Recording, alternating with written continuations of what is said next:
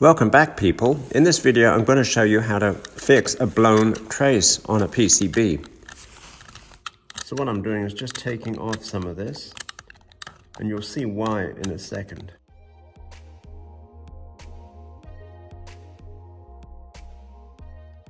So here it is cleaned up. I've removed most of the solder mask over the blown trace.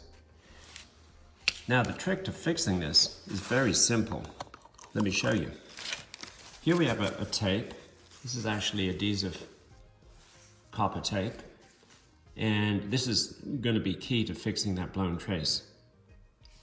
Basically tear off a thin strip, place it over the area where the trace is blown right there and then just flow some solder over it. And that's basically it. Let me show you how I do this. I'm just sticking the piece of copper foil on. I just tore a strip of it off. And I'm just going to stick it over the, the broken trace. And just kind of flatten it down. As you can see here. Just make sure it's flat. It doesn't have to be, it's better if it sticks. Sometimes the glue on the tape is not great. But there you go. So, and you can see why I took some of the paint off, just to give it some area to flow the solder.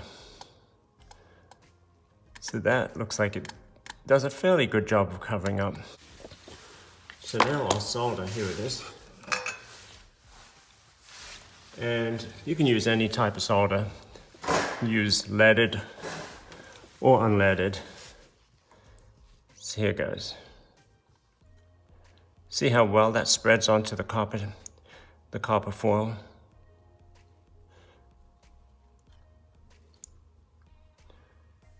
One thing I'm noticing, the glue does heat up a little bit.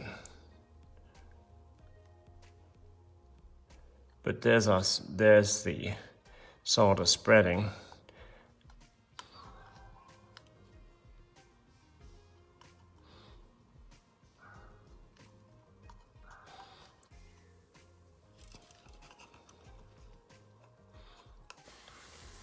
So there's the final result with the broken trace repaired.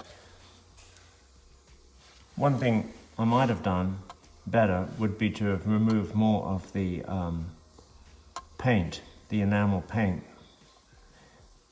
And then it would have given me more area around the tape to make the join. But that was the only thing I noticed that I probably could have done better. But there you go. I just sanded off some of the excess solder here, as you can see. So that looks better and it's more flatter. Here's another one here that I'm going to do. This one's just to illustrate it. This is a piece of copper clad that I just dremeled just to show you how easy this can work. Stick the copper foil down, just press on it, get it nice and flat. Get your soldering iron ready and hot. Then just flow some solder over it, over it to achieve the join.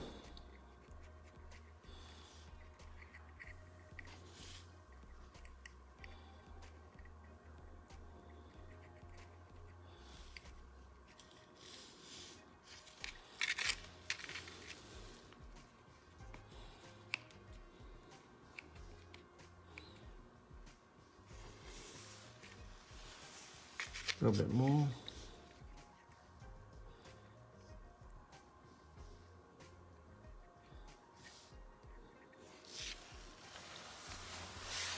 Let that cool down. There you are. A complete join across a broken trace. Takes literally minutes to do. Thanks for watching and please don't forget to check back for more videos.